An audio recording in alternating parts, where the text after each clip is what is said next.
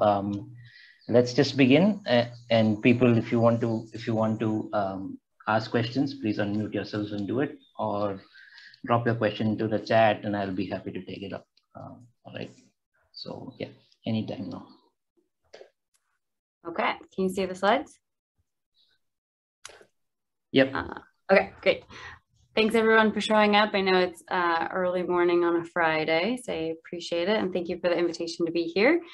Um, I am an assistant professor at the Bren School of Environmental Science and Management. So we're an interdisciplinary um, environmental graduate school. Um, and the work that I'm going to be talking about today is collaborative with a group called the Climate Impact Lab, where we've got economists, climate scientists, computer scientists working together to build uh, high resolution estimates of the damages of climate change. And what I want to talk about today is pulling together a lot of our work over the last about five to six years um, across many different categories of climate damages where we're working to pull those together to, to build estimates of the social cost of carbon. So the broad motivation behind our work in this space is a very simple fact, which is that mitigating carbon emissions is expensive. So we've all seen many graphs that look like this, where we see different climate futures that we face under different emissions trajectories. And we tend to sort of look longingly at this green line, which is a low climate risk future. But what we have to acknowledge and, and confront is the fact that pulling the world down from that high emissions future line in red to a low emissions future in green is expensive and comes at the expense of many other things that we like to prioritize with public policy, like alleviating, alleviating poverty or investing in our healthcare systems, investing in our educational systems. And so what's really difficult about this problem is that policymakers are looking at these different climate futures and they can assess the costs of a given climate policy that may lower emissions a given amount, but they don't know how beneficial or how valuable those emissions reductions will be for society. And so it's very difficult to weigh these policy options against the costs uh, of achieving them. And so that's where the SCC comes in. It's defined as the total external cost that is imposed by emitting one ton of carbon dioxide. You can either think about it this direction as we emit one more ton of CO2 and there's a cost that's imposed across the globe, or you can think about it as the benefit to society of averting one more ton of emissions. How to think about this in daily life. Imagine driving your car uh, today. This is going to emit carbon, which will alter the atmosphere, not just today, but for centuries into the future. This will change the climate, not just where you live, but across the entire planet. And that will lead to corresponding climate changes that are local and alter many different dimensions of human well-being across the globe. So agricultural yields may change, our electricity demand may change, our human health effect, uh, effects may manifest. And so what the SCC asks is what is the total value of all of these changes um, one every time that we emit another ton? So that's sort of how to think about it at a personal level, but what, what we're really motivated here by is, is public policy. So how does the SCC shape climate policy? Well, for any type of, of mitigation policy that we may be considering, the SCC is what allows us to determine whether or not it is cost effective. So say, for example, you're thinking about a policy that will force auto manufacturers to develop electric vehicles instead of gas vehicles those auto manufacturers may come to you and say, this is how expensive it's going to be for us to redesign our factories and shift our manufacturing under this new policy. Those costs may be very salient. And what the SCC allows you to do is then value the benefits from allowing the uh, or forcing the auto fleet to become more um, uh, carbon neutral. You can then weigh those benefits directly against the costs. And so this allows you to assess policy trade-offs in sort of an apples to apples manner instead of thinking about dollars on one hand and sort of changes in climate um, or changes in temperature on, on the other. So um, this is not just a, a, little exercise that economists like to do uh, sitting on, on their computers in a spreadsheet. It's actually how a lot of uh, policy is, is, is conducted, particularly in the United States. And that's true in the United States because many of our laws and regulations actually force us to go through a cost benefit analysis before the law or the regulation is put into place. And since the Supreme Court ruling in 2007, that cost benefit analysis has to include the costs and benefits of, of carbon emissions. So after that 2007 ruling, the Obama administration put into place a government-wide SCC using the best available science and data and, and economics at the time, which gave a number of about $52 per ton. That number was used over the course of that administration to value over 80 regulations that were worth about a trillion dollars uh, in total benefits. Under the Trump administration, that number got lowered dramatically for a, a, variety of sort of key levers were pulled in the, in the process of building the number that lowered it substantially. And that was used to justify many rollbacks of environmental regulations. For example, our fuel economy standards no longer passed a cost benefit analysis because the value of those emissions mitigations was much lower. Today, we've returned back in an interim manner to the, the current, uh, the $52 number again. So we're basically relying on the number that was constructed over a decade ago under the Obama administration, while the Biden administration actively works to comprehensively reassess the science behind the SCC. That's sort of the story at the federal level. A bunch of different local level governments and actually individual companies, private companies, use the SCC to assess their, uh, their policy and business decisions. And then a variety of other governments uh, use SCCs in a variety of different ways as well, either drawing directly on frameworks built in the US or building their own uh, SCC estimates. So um, why is it important to get this number right? Um, as you're gonna see, of course, constructing an SCC takes a lot of effort. Um, why is it so critical that we go back to that science and economics from 10 years ago and work really hard to update the number? Well, here's just one example of why this can really matter. Um, and, and the key point is that a bunch of different policies may no longer be viable if you use an outdated SCC. So what you're seeing in horizontal lines are estimates of the costs of achieving a bunch of different climate mitigation policies. And then these vertical lines are different estimates of the SCC.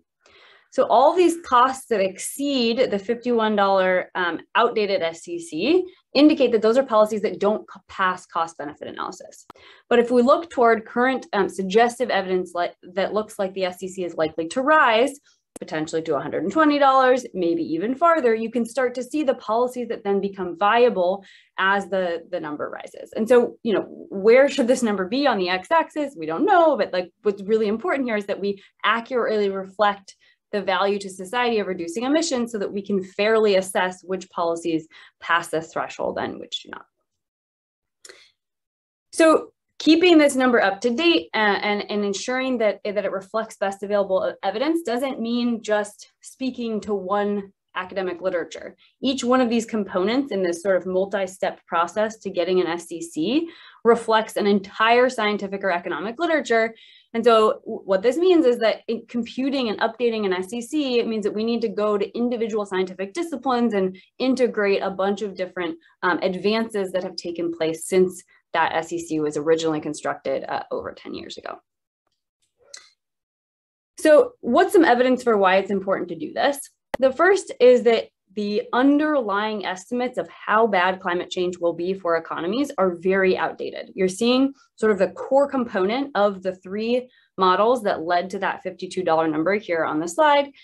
Um, and these, of course, were very influential models at the time, but you can you can see that some of them don't even have confidence intervals, and these were not empirically grounded in any way. And so we're relying really heavily on these three modeled estimates of damages to form uh, all of our current uh, climate policy here in the U.S.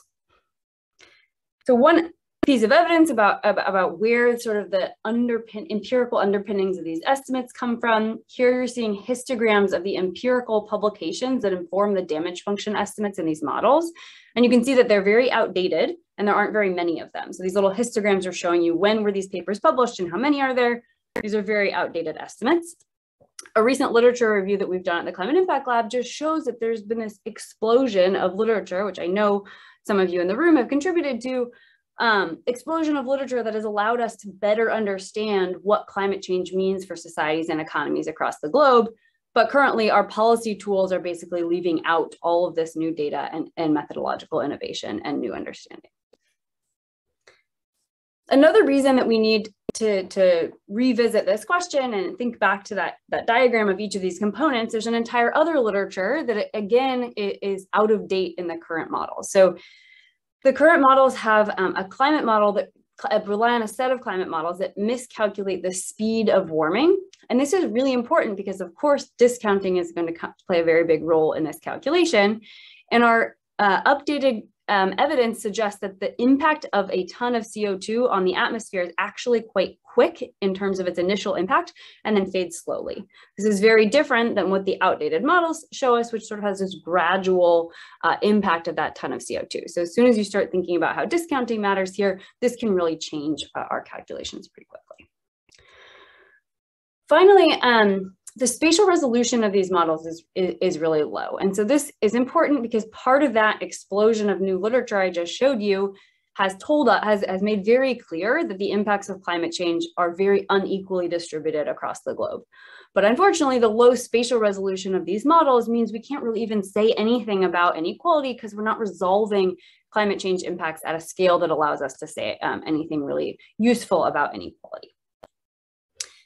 So what we're trying to do is sort of rethink how we can calculate the SCC using best available empirical evidence, best available climate science. We want to rely on data that are globally representative as opposed to going to places where it's easy to access data, which tends to be temperate and wealthy locations. We want to account for the fact that adaptation is likely to unfold as climate change gradually takes place, but also that that adaptation is expensive. And we want to be able to track and ultimately value the many different dimensions of uncertainty that play into this calculation. We are talking about hundreds of years into the future, and of course, there's a substantial amount of inherent uncertainty. We also want to be able to characterize those inequalities and, and ultimately value those inequalities when computing the SCC. So um, we've built a, a, model to do this. We're calling it the data-driven spatial climate impact, impact model. I know acronyms are annoying, but the main thing to highlight here is that this is data driven. So what you'll see is that our approach is really empirics forward. We're going to be looking to history and to data to say how have societies and economies responded to climate events in the past and what can that tell us about the future. And this emphasis on spatial is that we're really going to be building high resolution estimates so we can think really carefully about, about inequality. So the way that we're going to do this is we're going to start with econometric analysis of the effects of climate change using evidence from history to think about the future and use um, empirical estimates using that historical data to build estimates of adaptation and how, how costly we think that adaptation may be. We will then go to other teams around the world that have built climate change and socioeconomic scenarios of the future to build projections of what the future may look like, drawing on those literatures from other teams. This is going to allow us to, to, to characterize unequal impacts, as I've said, but also to track uncertainty sort of through the entire process. Um, and th this sort of approach, it, it, it really reflects the difference between, you know, 12 years ago when the initial SCC was built um, to today, where data and the data and computing environment has just dramatically changed. And this type of analysis really wouldn't have been possible without the type of distributing, com distributed computing that we now um, have uh, accessible. There's a window into what this looks like. We're going to be thinking about climate change impacts at the scale of about 25,000 regions. We're going to be doing this with probabilistic climate models, which allow us to characterize not just the average expectation of what the future may look like, but all the uncertainty in, um, in that climate future. And we're going to be characterizing vulnerability to a given climate event at a very local level, capturing the fact that a hot day means something very different for the urban poor uh, in Delhi than um, you know the rural uh, populations in, in Minnesota in the US, for example. Um, in the interest of time, I'm gonna, I'm gonna skip over this, but hopefully this diagram gives you a little bit of a sense of what we're gonna be doing. We're gonna be starting with sector specific analyses. So I'm gonna start by building estimates of what climate change may mean for key sectors of the economy then bring those things together to build the SCC. So we'll be building from sort of a sector specific approach and then ultimately integrating these forward into the SCC. And within each one of these sectors, there's going to be a pipeline that begins with data and econometric analysis and then draws on climate model scenarios from other teams that that allows us to, um, to, to get to value climate damages in the SCC. One thing I want to highlight is that, you know, for climate policy, what we're really interested in is this overall social cost of carbon estimate. But what's sort of interesting from a researcher standpoint is which different sectors really contribute most to this aggregate SCC. And so we'll also be showing you partial social cost of carbon estimates, which are basically the impact of each individual sector. So sorry, the impact of CO2 via each individual sector on the SCC. So we can sort of get a sense of which one's really important um, uh, in building that overall number. Okay, um, so because this is a data-driven approach, we really have to begin in a in a modular way where we we go sector by sector to build up these estimates of damages. It's not sort of theory forward in which we may think top down by drawing or theorizing what a damage function may look like. We are going to build damages um, from from data in each individual sector.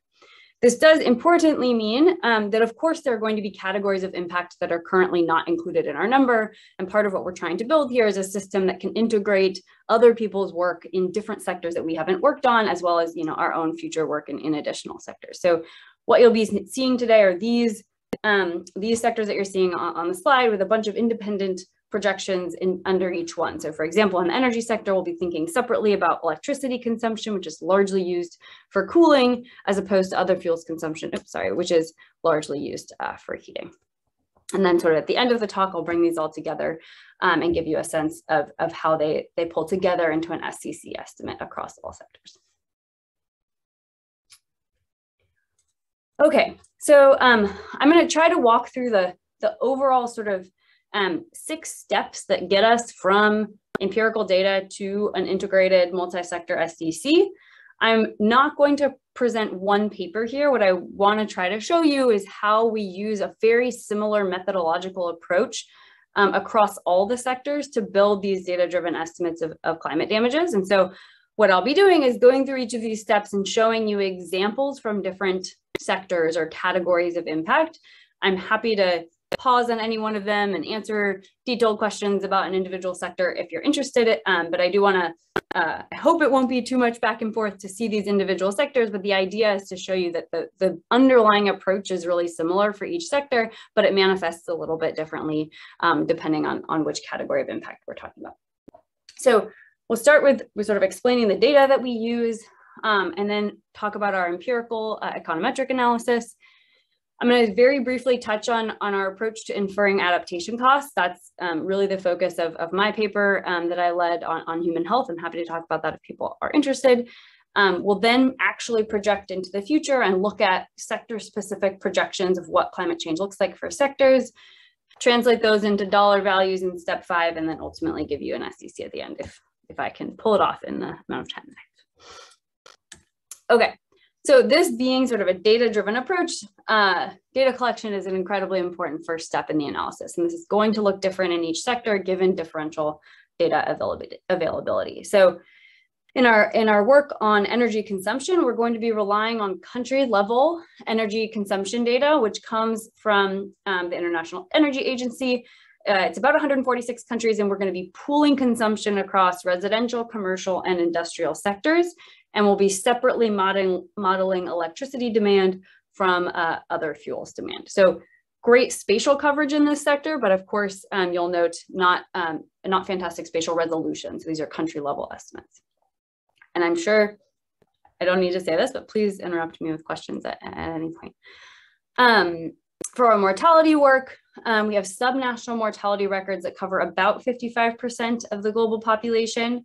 Um, for most countries, these are age-specific annual mortality rates. Happy to talk about why India is a little bit different if people uh, people are interested. They're roughly at the county or district level, um, depending on where you are in the world. As, as you can see in the bottom, their temporal availability really varies uh, across space.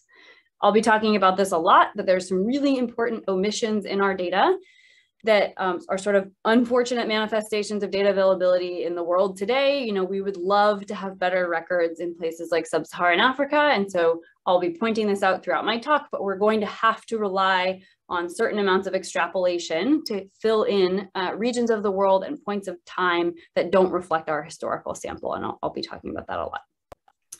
So can I um, ask yeah. a question here? Yes. Yeah.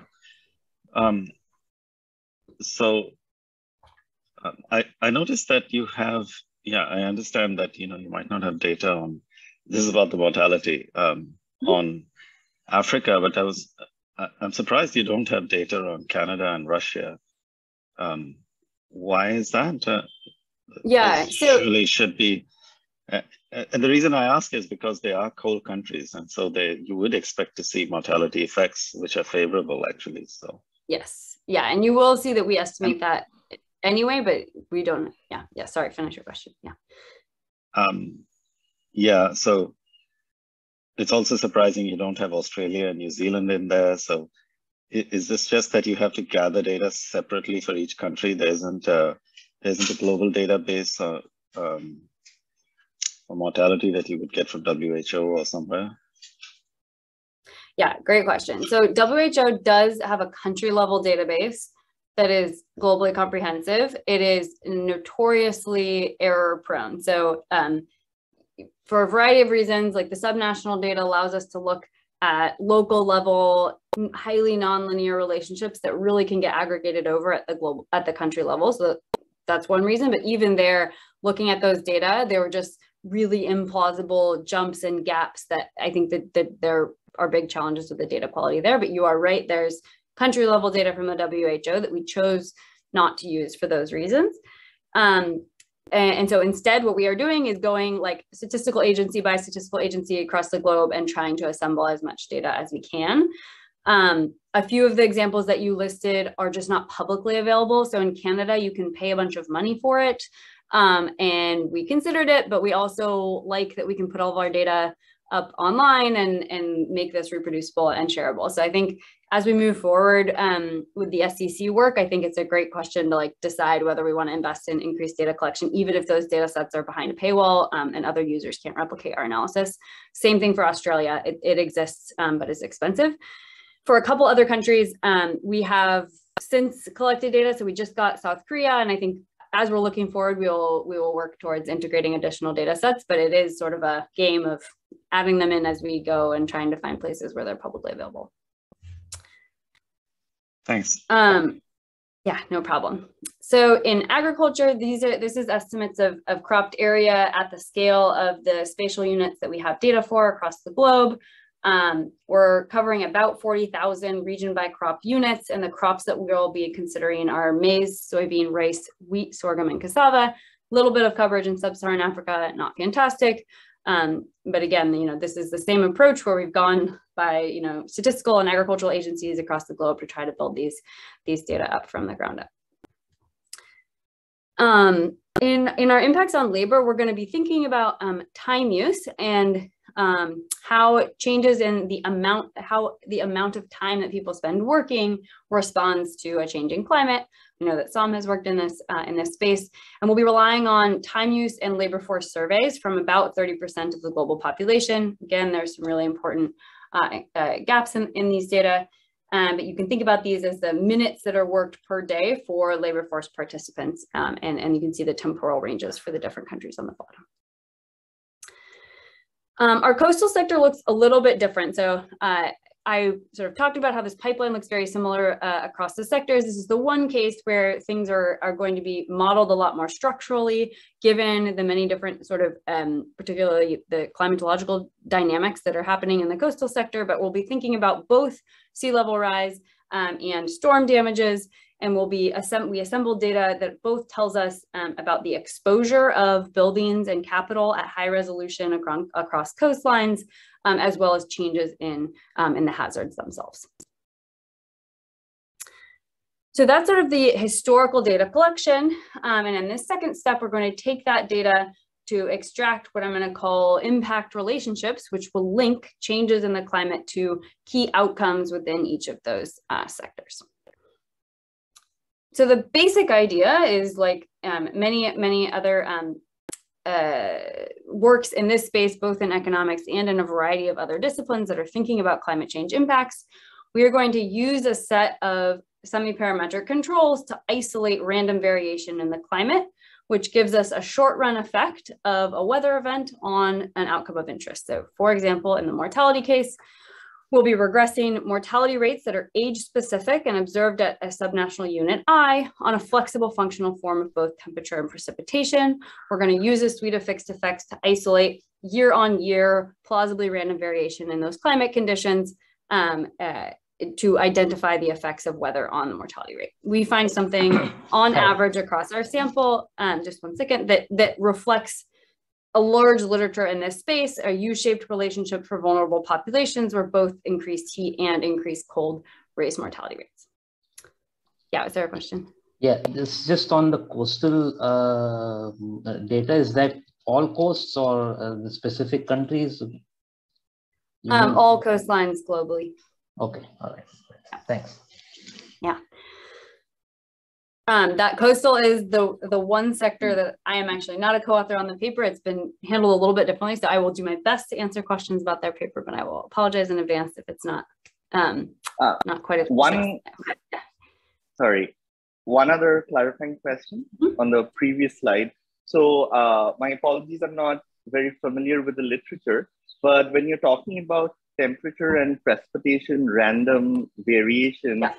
Are, I mean, how, how are you identifying that in, in the sense that, uh, so for example, if you consider the, the regular weather patterns, I mean, seasonal changes, I mean, there is uh, an expected pattern when you would expect in the in the summer months or monsoon, say for example. Yeah. So what is exactly, I mean, how are you picking up these or what are you calling these random variations in temperature changes and precipitation? Yeah, thanks for the question. And um, I definitely yeah. breezed over that really quickly. So there is a large literature in this space, but um, there's no reason that everyone would be familiar with it. So in the case of mortality, these are actually annual mortality rates. So you can think about sort of aggregating over that seasonality but these same types of models are used with monthly resolution all the time. So the basic idea is to use spatial fixed effects to account for any average differential conditions across space. We know that hot places also tend to be different in many other dimensions than cold places. We don't want to be comparing mortality rates in Norway and Nigeria. Um, so we use those spatial fixed effects to isolate variation over time within Norway or within Nigeria instead of over space. So that's you know, one form of, of isolating um, variation, but the other important component is of course seasonality as well as gradual trends. We are living in climate change right now. And so there's going to be um, you know, uh, gradual trends in climate exposure at the same time that there may be other gradual trending dynamics that change your outcome of interest like mortality. And so we rely uh, on a set of space by time fixed effects to try to control for those general trends as well. Or if you were using sub annual data, you, you would use something like, you know, state by month fixed effects to pull out that seasonality as well. So in this case, we're going to be using um, country by year fixed effects that are age specific to address um, you know that gradual change over time in a way that may be maybe country specific and maybe differential by each age group. Okay got it. Yeah thanks yeah. um, so this sort of gets us the effect of weather and to the extent that you believe we've been able to isolate a component of variation in the weather that is random we may believe that this is a causal relationship. Um, but that doesn't that doesn't allow us to say something immediately about climate change, which we know is likely to unfold slowly. So the effect, the fact that uh, it was very hot this summer doesn't mean that that will have the same effect on mortality as a future in which every single summer is that hot. And so what we do is we build on this model to allow the shape of that response function you just saw to itself depend on conditions in a location. So what you can do is just sort of heuristically think about this beta reflecting the weather sensitivity of an outcome of interest.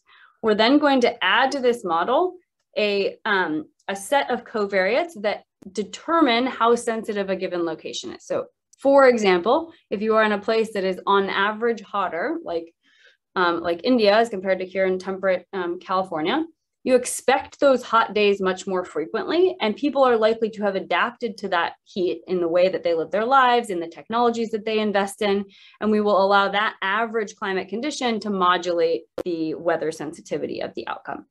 We'll also use income and then additional covariates that will depend on the sector. So for example, in, in agriculture, access to irrigation is incredibly important in determining your weather sensitivity um, of, of crop yields. So this sort of vector of covariates will vary across sectors, but the basic idea is we're going to let that weather sensitivity itself depend on a vector of other parameters. So just visually, what does this look like? In the case of mortality, if we go to the coldest regions of the world, our model predicts that the change in the death rate for the oldest population, which is the most vulnerable, is very high, over 15 deaths per 100,000 for one additional day at 35 degrees C. But if we start moving to warmer regions of the globe, we see this marginal effect decline, reflecting the fact that in the data, in the historical data, we see that populations are adapted to their warmer climate they're investing in, in some sort of set of behaviors and technologies that allow them to respond better to this climate. So if we keep moving to warmer and warmer parts of the world, by the time we get to the, the hottest decile of global regions, we see that there's a much more muted effect of a hot day than there is in a place that rarely experiences that extreme heat. So this is a way, uh, by, by allowing this sensitivity to evolve with these climate conditions, we're capturing adaptation as we can see it um, in the historical record. So that's sort of an example from mortality, but this type of approach we use across all of our sectors and we can capture this differential vulnerability depending on the outcome of interest.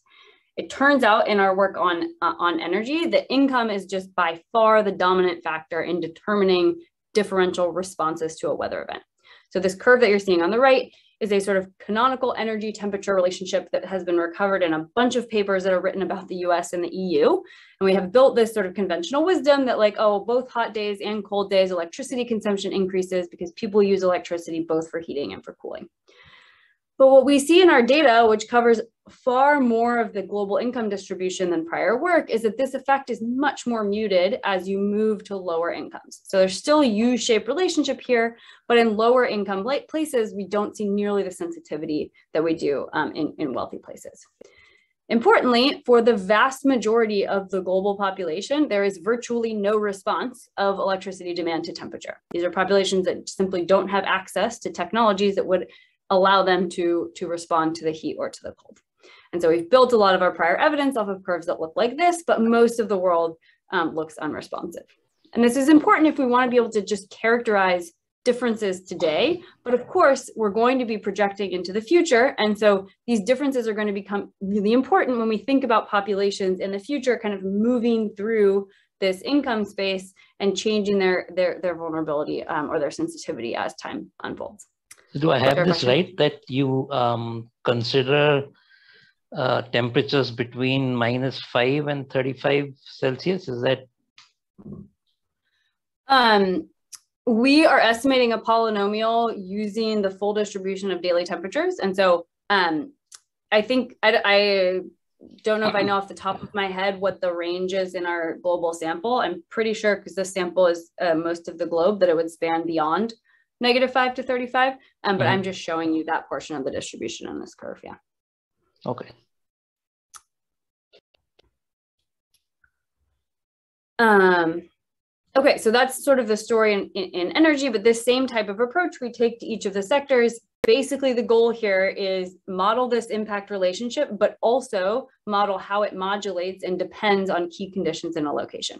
So in the case of how much do you work on a hot day, this is very intuitive. We basically find that your sector of employment is the key determinant of your labor sensitivity to, uh, to temperature. And so uh, for, for high risk workers who are in agriculture, construction, manufacturing, we see a really steep drop off on hot days. But uh, for those of us that, that sit in front of a, a computer in an air conditioned office building, we don't see uh, sensitivity of your, your labor supply to, um, to temperature this tells us sort of how people are, are differentially sensitive today. But of course, if we think towards uh, towards the future, the sectoral share of an economy in each of those two sectors is likely to unfold.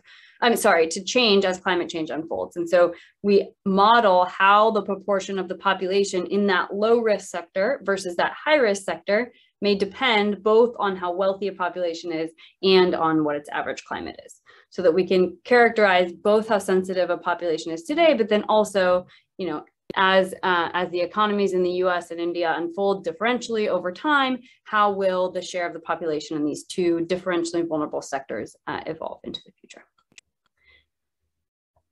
Very similar with agriculture. The key difference here is that things like irrigation really matter. So um, your sensitivity to drought or to flood events is muted when you have access to irrigation. And so we're building crop, sorry, crop specific models like this that allow us to capture differential sensitivity of each crop's yield to um, a variety of different uh, covariates. And in this space, because the agriculture space is just so rich with prior studies, we use sort of a, a, few machine, sort of basic machine learning tools to help us select model here because there's a really large set of, of possible weather events and average and, and um, covariate conditions that could determine sensitivity um, in this literature. Okay, I'm gonna move on if there's no more questions about the econometrics. So um, those econometric analyses allow us to think about sensitivity of a key outcome to a weather event. And the fact that I showed you key determinants that shape that curve and in some cases flatten it or allow populations to be less vulnerable or less sensitive to a weather event reflects benefits of adaptation. So the fact that a hot day um, in, in Seattle in the US that rarely experiences a hot day, that's very, very damaging to mortality rates. But that same event um, in a wealthy hot place like in, in Florida has a very muted event that reflects benefits of adaptation in Florida that Seattle doesn't have. But we don't want to project forward estimating damages from climate change, only giving populations the benefits of that adaptation in the future without counting uh, the costs.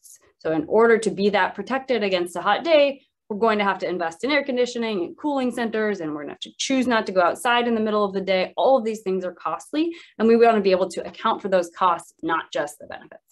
So that's what this step is about there's a bunch of um, theory in the in in the the mortality paper on this, and I'm, I'm happy to talk about it if people are interested. I'm just going to give kind of the basic intuition of how we do this, um, um, but I'm happy to answer questions if people are interested. So basically, the idea is that what I've showed you so far reflects a model that allows us to estimate these betas, but also differential betas as climate change unfolds. So if a population gets wealthier, or the population demographics get older, or the population gets hotter on average, I can model these differential betas under different climate conditions and different income conditions. But if that beta declines, reflecting the fact that populations are less sensitive because their average climate is hotter, that's going to come at some cost to achieve that lower level of adaptation. And so we want to be able to include in our climate change projections, not just this term, which reflects the direct effects of climate change, accounting for the benefits of adaptation, we also want to account for the fact that that adaptation will be costly. So whether that is in Holland, building a bunch of greenhouses to protect your crops against adverse climate conditions, or whether that's in India, where everybody is having to put in multiple um, air conditioner units into their apartment buildings, those are not free adaptations, and we want to be able to try to infer those costs. Of course, measuring all these costs directly is really difficult. Some of them are behavioral things that people are doing, sacrifices they're making and how they spend their time during the day. They may be direct purchases like air conditioning, but we don't know how, we don't have a means of enumerating all of the many different behaviors that people will make um, in adaptation. So instead, we're gonna rely on a revealed preference approach that's gonna rely on a few um, key simplifying assumptions that will allow us to back out an estimate of what these costs may be. And the basic intuition from this approach is that people are going to invest in adaptive behaviors and technologies only up until the point where the marginal cost of doing more just equals the marginal benefit of, of investing more. So I moved to Santa Barbara from Chicago. In Chicago, I lasted like three summer days before I, I bought an air conditioner for my apartment it was definitely worth the cost of the air conditioner to enjoy the rest of the summer without suffering the discomfort of hot days. Here in Santa Barbara, I maybe get one or two days a year where it might be nice to have an air conditioner. It's not worth me investing in that air conditioner because the benefits that I get are just too, too small. So if we assume that people are rational and they're making these investments, we then can use those empirical estimates of the benefits of adaptation that we just talked about on the last section to infer what the est infer estimated um, estimated costs. So when I said I, I, can see in the data differential differential dose response curves or differential vulnerability that reflects benefits of adaptation. I will infer those are equal on the margin to the costs, and then we will back out estimates of adaptation costs using this approach. So um, this is sort of the um, the approach that we can use in a few sectors. So there are a few sectors where this type of revealed preference approach can, can sort of directly be applied. We're going to use that in mortality to back out many unobserved costs that people incur to protect themselves against heat. We'll use it in agriculture to reflect the many unobserved costs that farmers incur to, to respond to a changing climate in, in, um, in their crop, um, in their varietal choices, et cetera. In um, coastal, we're relying really heavily on a, a structural model by Delavane Diaz, which we've recalibrated and, and, sort of re-estimated with new data. Um, but her model sort of builds in a revealed preference approach that we um, that, that we are not sort of separately estimating. And then in labor and in energy, there's going to be sector, sectoral reallocation in labor where we don't have a means of using the same type of revealed preference. So we're going to have to be allowing that sectoral reallocation to take place without those, those costs. Um, and then in energy, energy demand itself is the adaptation. And so here we're not going to be capturing uh, uh, costs. But for mortality and agriculture, we'll be using this revealed preference approach to back out um, estimates of costs. Can I can I just ask you a little bit more about yeah. this because I don't think I'm yeah. I, I don't think I understand it. So basically, your your marginal adaptation cost is just your marginal damage, right? Um, um by because yeah. go, go ahead. Is that, is that is that right? It's your marginal benefit. So um for example, if you look at these two curves, what you're seeing in blue is the yield sensitivity in a cold location, and in red is the yield sensitivity in a hot location. And this difference is, is the benefit of adapting. That hot place has expected those hot days. They've invested in adaptive technology. So when they get hit by a hot day, they suffer a lot less than the place that is not adapted. And so this difference, you know, convolved with the distribution of temperatures gives you the marginal benefit of adapting if those two climates were marginally different. And that gap is what we infer as the, the marginal cost. Um, so I'm not sure what the margin here is. So could you, mm -hmm. uh, because this is going to be really important for your estimates, I think. So if you could spend a little bit more time, what, yeah. what's the margin here when you say um, the, the difference between the hot and the cold place? So you mean you say um, that supposing the difference was just one degree? Yeah. So um, I think maybe I'll try to go through it visually and hopefully this this will help, but we'll see. So, so um, imagine you can choose how much adaptation you want to invest in. Over here, you're not very adapted. Over here, you're very adapted. We don't know what you're doing to get adapted, but this is sort of your axis of all the decisions you can make to, um, to adapt. You're facing some unobserved cost function in gray that say is, uh, is convex and increasing. So we have higher costs of achieving that, um, uh, of more adaptation. There's also a benefit function, which tells me how many lives I save in a given location based on how much adaptation I've invested in. So um, my uh, if I if I don't invest so in this graph is conditional. So so this yes. graph is conditional on on a temperature and exactly. on an income in your models. Is that right? Exactly.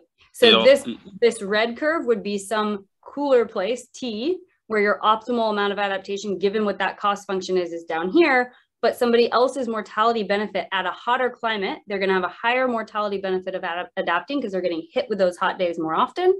Their curve is going to look slightly different. Each location finds their optimal amount of adaptation given a shared cost function that they face.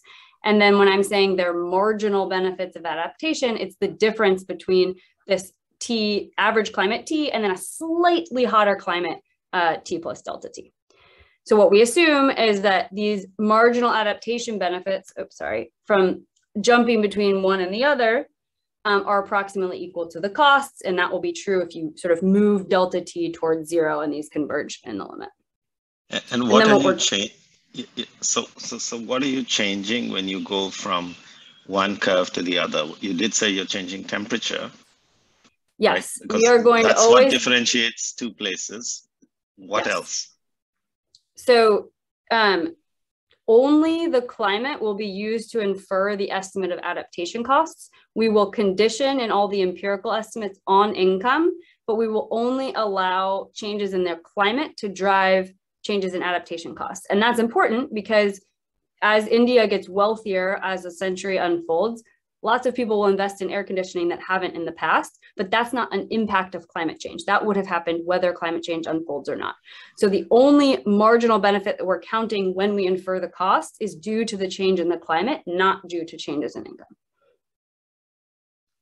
Uh, that's a consequential assumption. Right. I'm just thinking that is a yeah. consequential assumption, right? Because absolutely the, the marginal benefits should depend typically on income.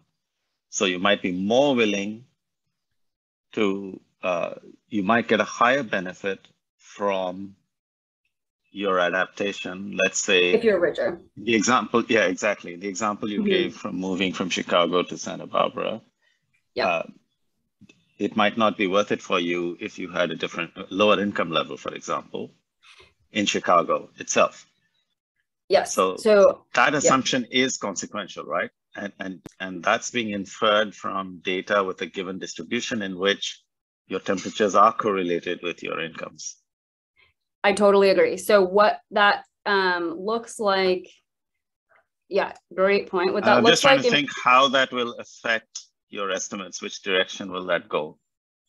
Oh, that's a good question. Um, let me see if I can think about that on the fly. So the way that, that your point manifests in our actual estimation is that the effect of your average climate on your sensitivity is separate from your effect of income on your sensitivity. And what you have just mentioned is an, it would be an interaction effect between climate and income such that the returns to adapting a little bit more, the marginal mortality benefits of adapting would depend on your level of income. And you know, we empirically rule that out by showing we don't really see evidence of an additional interaction effect in the data. But, you know, I, I'm not, I can totally, there are legitimate stories in which you could see that could be true. And you are right that our empirical estimates of, of adaptation and of adaptation costs would change if we allowed there to be an interaction effect between, between climate and income um, which direction well, I think what direction it goes depends on, on what direction you think that cross partial is. And uh, I'm not sure. Yeah, I would have to, I'd have to think about it more. I definitely will, but I, am not sure I have a strong enough prior on which direction I think that that interaction might, might go. Well, you'd expect more adaptation if you're richer, right? Because the benefit, uh, typically the, the monetary value of the benefit will be higher to you because yeah. you have a lower marginal utility of money, right? If yeah. you put it that way. Yeah.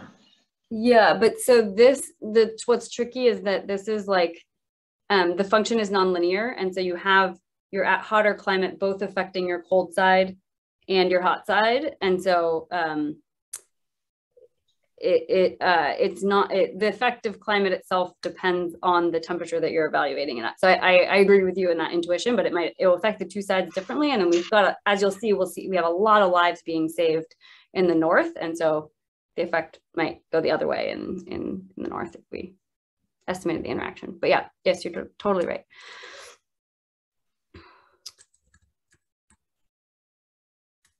Um, okay, great. In the case of mortality, I'll actually show you that the estimated costs don't really change the picture all that much, but the income effects are really large. And so it is true. Your, your idea is totally true. It's possible that, that that story could change if I allowed income and climate to interact. Um, okay, so now we want to take um, those empirical relationships, the structure and assumptions that we've placed in order to back out some estimates of adaptation costs, and then use those to project what the future may look like in each of these sectors under a variety of different climate change uh, projections. So we want to do this at high resolution. This is important, uh, not just because you know we, we want to have a bunch of projections, but because as you saw in those figures, there is a lot of evidence of differential sensitivity based on average conditions in a location. And so as soon as you think about sort of the spatial distribution of climate and income, it can become really important to capture this at high resolution if we want to fully um, cap capture differential uh, impacts of climate change. So what we're going to do is create what we're calling impact regions. These are sort of our standardized unit of analysis in projections. They are going to group together existing political units like counties or districts, roughly are comparable in population size and roughly internally homogenous in terms of their climate. And then we're basically going to use those empirical relationships that I showed you before to interpolate response functions for the regions of the world for which we don't have data, and then ultimately into the future as well.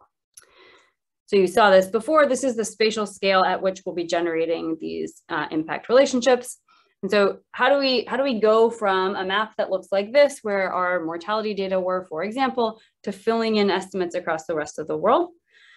Well, basically, um, we have a model that says, given your average climate and your average income, I can predict your weather sensitivity in any location.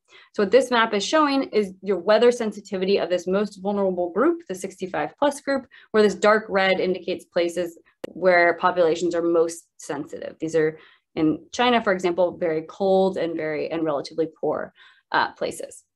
So then we um, assemble the data that gives us this average climate and average income at the scale of each one of those uh, impact regions to then infer what sensitivity will look like um, in, in the rest of the world. So we will fill in the rest of the globe that will estimate heterogeneity across the globe using the evidence that we have from the sample of countries that we have extrapolating out to places that we don't that we don't have data. What you can see here sort of manifesting is the role of, of income and climate. So places that are, are very cold are very sensitive to a hot day, but also places that are very poor. So even places that are experiencing a lot of these hot days in sub-Saharan Africa are sufficiently poor that their response is quite high. Sorry, my mouse keeps flipping the slide. Um, so you all should, you know, feel, I think you do, slightly uncomfortable about this amount of extrapolation. And it's really important to be, you know, I think this so is just the best a, just a question. Yeah. Hmm? Uh, sorry about that, but just a question on uh, when you say the mortality response, uh, is that in terms of lives or is that, are you doing a monetary, uh, are you doing evaluation and converting that? Not yet. So these are just deaths per 100,000 from one single hot day it's just like how steep is that response function? At this point that's all it all it says in deaths. Okay. Yeah.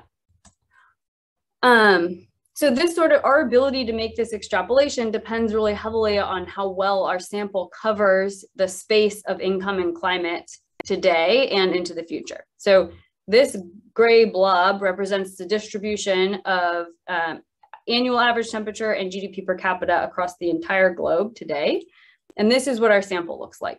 So the really important omission here is in this very low income space. We're relatively spanning, eh, spanning climates, sorry, gosh, spanning climates pretty well, but we're really missing low income population. So in the uh, new version of the paper that hopefully will be up on NBER this week, um, we've added a lot more tests, uh, particularly using cross-validation to try to think about how we can assess the plausibility of our model out of sample where we really just don't have data for these poorest populations.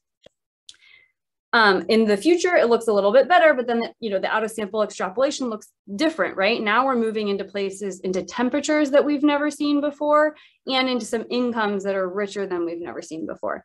So again, we do a bunch of checks to try to assess how well we think uh, we, we can do, and then, um, you know, sort of sensitivity analyses, changing assumptions about extrapolatability. But this is sort of, this global representation comes only from our ability to sort of take what we can from the historical data that we have and try to infer what we think uh, vulnerability looks like everywhere else. Um, so when we do this, this allows us to, to not just think about differential sensitivity across space, but also across time. So um, this is what our, our, our mortality vulnerability to heat looks like today. But if we tack on top of that a climate change projection and a projection of income, we start to see this map getting later as populations adapt um, under, uh, under future years. So here in 2050, we're seeing a more muted map by 2080, even more adaptation. And by 2100, we're seeing much more adapted world to heat than we saw um, at the beginning of century. This reflects those benefits of adaptation, uh, both from changing climate and from income. So what does this look like when we add up impacts across the globe? Um, this is the as an estimate of the total aggregate change in the death rate due to climate change under a high emission scenario over the coming century. And we show you first just a benchmark model that doesn't account for any future adaptation. So we don't allow populations to change their sensitivity at all into the future, which a lot of prior studies have done. We have really large effects of, of climate change. So over 200 deaths per 100,000. Auto fatality rates in the US are around like 12 deaths per 100,000. But this looks quite different when we account for income growth. So the fact that income really modulates your sensitivity lowers our projected deaths quite substantially. Accounting for climate change lowers this even further. And then if we um, add in those inferred estimates of adaptation costs, this rises slightly to about 85 deaths uh, per 100,000. Um, so still, while this is much smaller than the sort of benchmark case, these are still really um, large quantities of, of, death risk by end of century aggregated across uh, the globe. Of course, there's a lot of uncertainty in these numbers. So we conduct Monte Carlo simulations that trace through from econometric uncertainty to climate model uncertainty to give us an entire sort of distributional range of what the future may look like. And you can see that while a lot of the mass um, in these projections is above zero, there's substantial uncertainty in the magnitude uh, of these estimates, and we want to carry that through all the way towards uh, a social cost of carbon estimate at the end. This is mortality. I've been focusing a lot on mortality, but this type this, of- This graph, um, hmm? sorry, just a question. This graph is the net, right? After you put in the adaptation cost. Um, yes, this one in gray is, yes. Um, but that is, I think they're about 14 deaths per 100,000 at the end. So it's not, it doesn't change it too much, but yeah. Um, and then these are, these are what um, similar curves look like for other sectors. So in electricity, we're seeing increases in electricity consumption, but that is uh, largely balanced out by substantial declines in other fuels consumption. We are um, seeing increases in sea level rise damages, declining labor supply, and um, depending on the crop, uh, potentially really substantial declines in, in, in crop yields as well. These are aggregate global damages. As we've been discussing, these are highly unequally distributed across the globe, as well as differentially uncertain across space. So the map shows you the average projected impact of a high emission scenario on mortality rates in 2100 uh, but these little distributions show you that there's substantial uncertainty around each of those estimates arising both from the econometrics and from um, uncertainty around the climate system. Again, uh, some, this is both the mortality risk plus the, the inferred adaptation costs. This um, inequality manifests across the sectors. So we, we see this sort of mirror uh, effect looking uh, pretty similar in a lot of crops where this overall, we're seeing this story in which the global poor and the places that are already quite hot are those that are projected to suffer the largest damages across, uh, across all these sectors. A couple different ways that, that we can sort of learn about the nature of these damages um, eh, because of the spatial resolution that we're projecting these at. What we see in, in mortality is that income, which is on the x-axis here, is highly predictive of the proportion of your damages that are likely to come from deaths versus from adaptation costs. So in poor regions of the world, we're seeing really large increases in death risk. But in wealthier regions of the world, at least some of them, we're seeing more increases in adaptation costs. So it's really looking like a story in which a lot of wealth, wealthy places are paying more to protect themselves against uh, uh, against climate change, but in these in these poorer places, we're seeing uh, the impacts manifest as as real death risk. In the case of agriculture, we actually see something quite What different. are the bars here? Oh, these are ranges across all the impact regions that fall into that decile. So uh, the distributions over the 25,000 regions, and, and so the, the heterogeneity comes from sort of spatial heterogeneity within each decile. Okay. Um, in agriculture, we actually see some of the biggest effects happening um, oh, sorry, in, in wealthier uh, regions of the world and the more temperate regions. So these tend to be some of our like biggest bread baskets uh, of the world. We're seeing some of the, the largest impacts. So it looks slightly different than um, sort of income story than we see um, uh, in, in, in mortality. Um, I think uh, isn't isn't this particular thing uh, contradicting the larger literature? The agriculture, um, in agriculture? result. Yes. Um, I don't know. I wouldn't. Uh, I'm not sure how much people have investigated the income dependence of the response function. So one key result in this paper is that, um, which actually has been reflected from some work within the United States, but I think you know we should take that with a grain of salt because income gradients are quite small relative to the global income distribution. But um, we see that higher incomes increase your sensitivity to hot days, and not we you know tested that every which way to make sure that it was really in the data. there are other correlates. Like I think we should, we all want to, you know, I don't want to overstate these results, but that's a really so, so here you're talking about spatial income variation in the yeah. US, and you're, no. you're referring to yields on, on, on the left hand side. Yeah. So yield responses to temperature look more extreme in wealthier locations. In our sample, we see that in our global sample. Other papers have found that within the United States. Um, but the there's some, you know, the theories from the agronomists are that a lot of the highest um, average yielding seed varieties that wealthier people pay for actually do well on average, but but sacrifice um, sensitivity to extreme conditions, and that farmers are making that choice um, in, in wealthier locations, they have access to these crops and on average they're getting a better yield, but they're doing worse as it gets hotter. So that's like a theory that I've seen in a few papers, but um, we see that sort of consistently in, in our paper. And I, I don't think I know of other papers that have done that sort of at this scale and, and have a climate change projection that includes that income effect. Right. Um, and okay. Right, got it. Okay, thanks. No problem. And how about uh, adaptation costs uh, like by the income deciles here? What are the adaptation costs? Right. I don't um I don't have that for agriculture. It's a great question. Um it can depend quite a bit on crop. And so uh here this is maize and I realize that I that doesn't say maize, so I should have that on the slide. But um yeah, I don't want to answer because I'm not 100% sure based on crop. I think it could look a little different, but but yeah, I, I can add that to the slide deck. I don't have it. Thank you.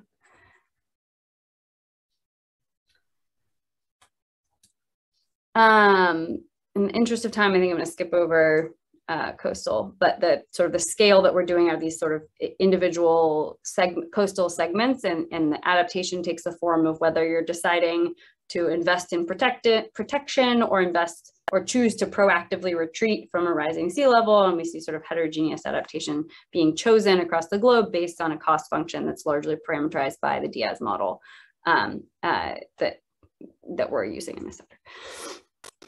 Um, okay, so those projections give us um, a sense of physical quantities of impact, so percent of yield losses or increase or decrease in the mortality rate. What we're working towards here uh, is the social cost of carbon. We want to be able to monetize these things, um, particularly for their usefulness in, in public policy. So now I want to translate what you just saw into uh, empirical damage functions that, that monetize these damages and help us think about the shape of aggregate damages as warming unfolds. So to do that, we're going to take this distribution of projections that I just I told you about, where, which are characterizing uncertainty in the econometrics, as well as uncertainty in the climate. And we're going to index each one of those projections against the magnitude of warming from that climate model. So you can think about each one of these dots as like aggregating global damages across a map of the world across those 25,000 regions, reflecting one Monte Carlo simulation, one climate model, uh, one, one year. And then our different climate models place these projections on different points on this x-axis. These blue dots are going to reflect a moderate to low emission scenario, and then these red dots come from simulations with a, with a high emission scenario. And so what this sort of distribution allows us to do is then empirically estimate a damage function. Now, of course, in every sector, getting to this graph means a bunch of work to turn something like death risk into a dollar value. Um, mortality is probably the most controversial one of, of, all, and so I'm happy to talk about the, the different way, many different ways that we've we've done this. Um, but you know, the same approach needs to happen with increases in kilowatt hours demanded using projections of prices to turn that into dollars. Yields, we need to turn those using uh, using a, a model of projected prices to turn those into dollar values as well. So there's a step behind these dots that involves monetization for each one of the sectors. In this case, for mortality, we're going to be using a value of a statistical life that does vary um, across those 25,000 regions using an income elasticity of one. We show in the paper um, how those estimates vary quite substantially if you, if you make different assumptions about the value of a statistical life. So these are what these damage functions look, uh, look like across different sectors. So um, based on what you saw before, as you might expect, agriculture is downward sloping. We are increasing electricity demand as climate change gets um, more severe, but decreasing other fuels consumption, which is largely used for heating. This is um, labor damages coming from the form of, of, of, lost hours of work and, uh, and coastal damages here um, in the middle on the upper right. So these, um, the climate models that we use and the socioeconomic scenarios that we use stop in 2100. Um, a lot of prior estimates of the SCC suggest that a substantial share of damages um, are likely to occur after 2100 based on dynamics in the climate system, of course, depending on your discount rate. Um, and so in order to generate estimates farther into the future, we have to extrapolate damage functions that we estimate historically using our projections into to years that go beyond 2100. So this is an example from labor where we use variation in shape of damage functions up to 2100 to then infer a projected damage function into the future. Of course, we show lots of robustness and show what happens if you just fix the damage function at 2100. But basically, we're going to rely on this damage function extrapolation to allow us to get uh, projected numbers that go that go beyond 2100. So the power of this damage function is that is that now all we need to do to conduct an SCC calculation is figure out basically where we are on the x-axis. So there's a global mean surface temperature on the x-axis, and we are going to pulse the atmosphere with a ton of CO2, trace that ton of CO2 into changes in concentrations uh, in the atmosphere. It has a dynamic effect on global mean surface temperature. And then this panel C is what was on our x-axis of our damage function. So we can trace that pulse through average temperature change into a dynamic trajectory of damages. Here, I think we're looking at, uh, mortality damages, which then to compute the SCC is the present discounted value of that stream of damages, which arises through that estimated damage function. Again, we're going to be thinking hard about uncertainty here, um, resampling the, um, the climate model that does this pulse of CO2 and translates it into temp temperature, and then using um, a, a, statistical uncertainty in the estimated damage function itself to compute um, a distribution of, of. Uh, I had a question. Um, uh, so like in the panel, in panel D, there's the, and the uh, confidence interval, I think the uh, functional uncertainty uh, it's uh, quite large for uh, 2100, which is like the end year projection of RCPs. But uh, why does it narrow down given that uh, extrapolation farther on time will uh, like theoretically will at least intuitively suggest that the uncertainty will arise, but it just narrows down. Why? Yeah, sorry. In which panel are you, are you saying in D or in C? In D. In D, yeah, yeah. So D is um, combining the uncertainty in the climate system with the uncertainty in the damage function. This is all discounting. So this is a discounted stream of damages. It's it, the only reason that this is shrinking is that those damages start getting discounted and discounted so much towards zero that that that uncertainty just doesn't uh, matter anymore. So that is really just arising through um, through discounting. So of course, this graph would look different if you chose a different discount rate. Thank you. No problem.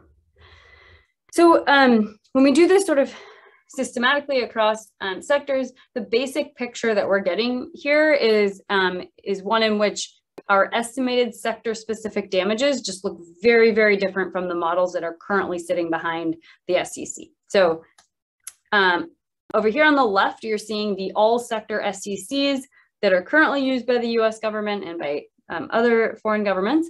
The gold is this current interim SCC, which basically was from 12 years ago. This was the Trump SCC that had a lower, uh, much higher discount rate and only counted damages within the US. And then what you're seeing on the right in gray are the sector specific SCCs that are uh, behind one of the models that forms the, the gold bar. So only one of those models allows you to decompose aggregate damages into sector specific damages. And, and so that's what we're comparing to in gray. And then in blue are our estimates of sector specific damages. So in energy, we find that that other fuels consumption decline actually outweighs the energy consumption increase. Um, there's really interesting heterogeneity there. So like in India, the electricity demand in impacts are, are really substantial in terms of thinking about the electric sector and, and how it's going to respond. But when we sort of pool everything across fuels and, and, and across the globe, we see this sort of very small decline.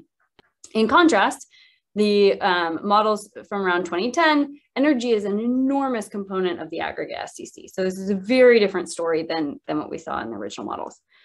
In mortality, the estimate was uh, very low but positive, and now we're seeing that our mortality estimates, of course, this will depend on the VSL, but this is true across many different valuation assumptions. The mortality um, component really dominates um, our SCC.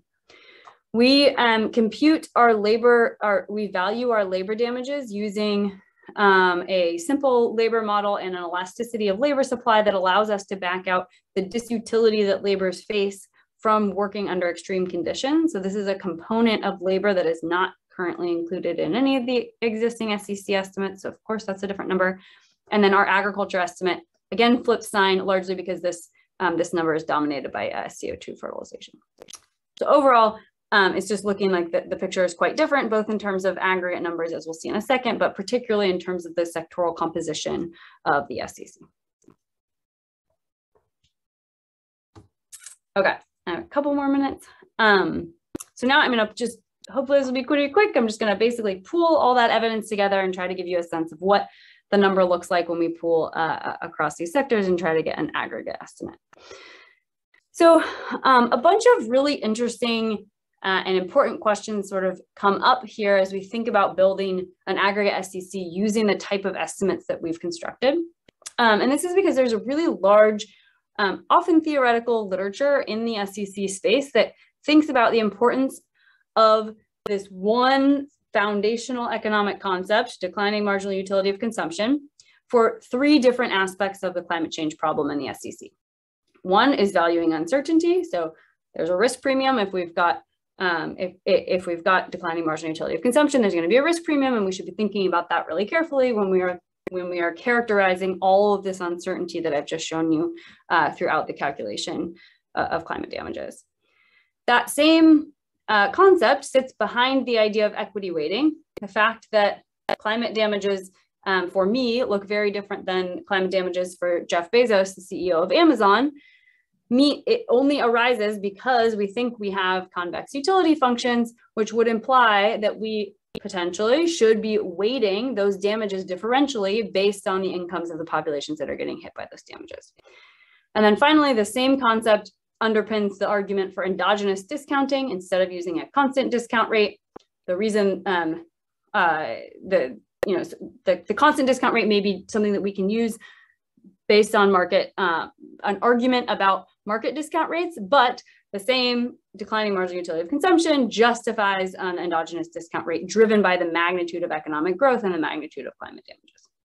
So what's exciting, I think, about our estimates is that we can actually kind of quantitatively assess these three points in a way that has been difficult in the past because we've got this high resolution set of impact regions. So you can think about equity weighting when you have 16 regions, but it's a lot sort of richer of a space to think about when you can characterize um, um, inequality at a higher resolution. We've also characterized uncertainty across many different sources. So we have these full distributions where we can actually think about valuing uncertainty. Um, and then, you know, everyone can do endogenous discounting if they want, but um, we can also sort of address that here. So what I'm going to do is sort of show you a, just a, a window into many of the SCC estimates that we have that sort of highlight some of the key dimensions of decisions that need to be made at the level of integration that can really influence the number. And then I will point you towards our, our work in progress, which is um, at this stage, this part is led by Ishan Nath, who's at the San Francisco Fed. And um, that paper will have sort of many different um, sort of valuation assumptions, sort of unpack many different numbers. So First, if we just start by looking, you know, ignoring uncertainty, applying a constant discount rate and not valuing equity at all, and we just take a mean over this large distribution of SCC estimates that we get, we have numbers that range between 40 and $70, depending on the emissions trajectory that you're on. So a higher emissions trajectory means a hotter climate, means you're at a more convex part of that damage function, which raises your SCC. If we then value the uncertainty using, uh, using um, a standard constant relative risk aversion uh, utility function, these numbers increase, particularly for RCP7. If we additionally use equity weighting, these numbers move around a little bit as well. There's a difference between the certainty equivalent and equity weighting of, of, of $4, but basically, um, you know, the idea here is that each one of these decisions can dramatically shape uh, uh, the direction that the number goes.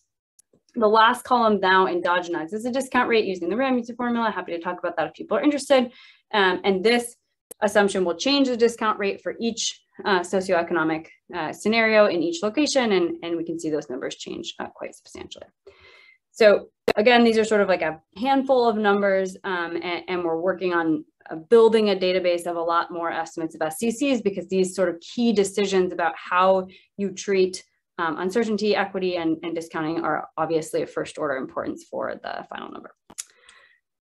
Um, just before I wrap up, you know, this entire approach is, is building up from sector specific damages. And so that sort of inherently means there are additional sector sector specific estimates that that you know can and should be included here and so we are actively working on additional sectors and we also are really hoping we can build this um, up into something that's publicly accessible enough to be able to integrate with with other scientists um, to, to sort of fill out this space and I'll just end by thanking my many collaborators at the Climate Impact Lab that have um, helped shape a lot of these papers. Thank you all so much for your time.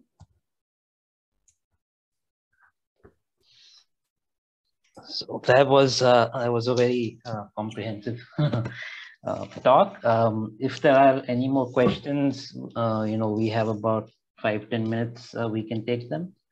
Um, I'll just wait um, in case anyone has any.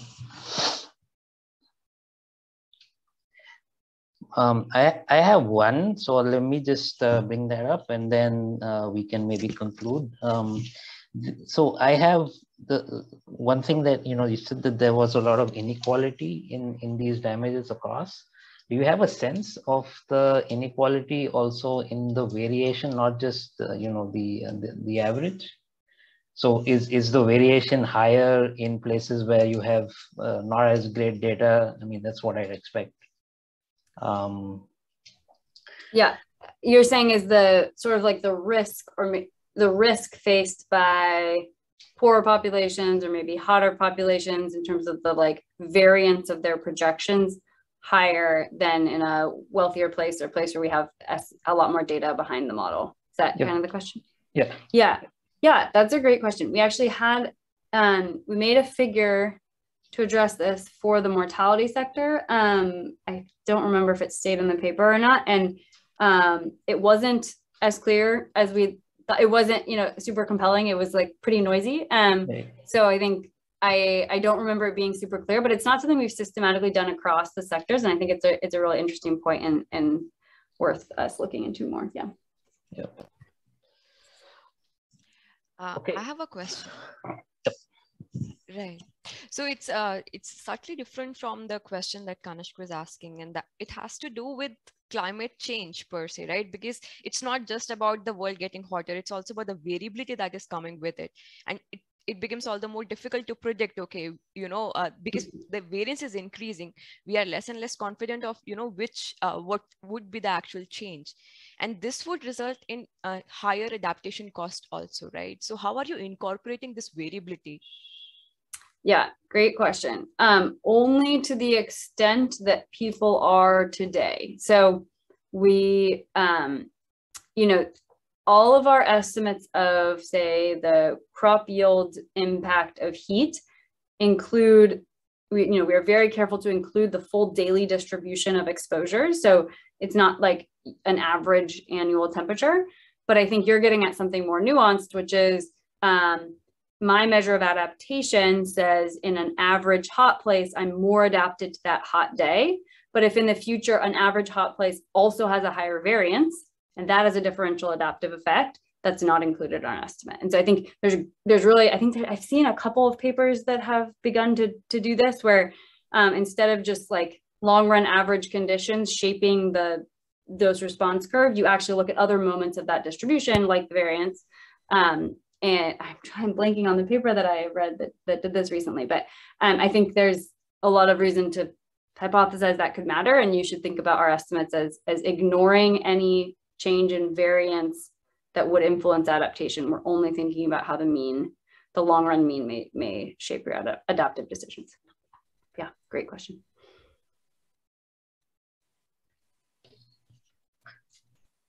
All right. Um, so if there are no more questions, I'm going to formally close. Uh, and want to thank our speaker and participants for a very interesting uh, presentation and talk.